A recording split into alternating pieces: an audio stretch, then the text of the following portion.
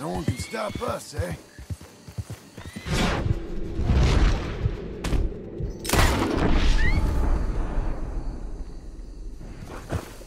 We're okay.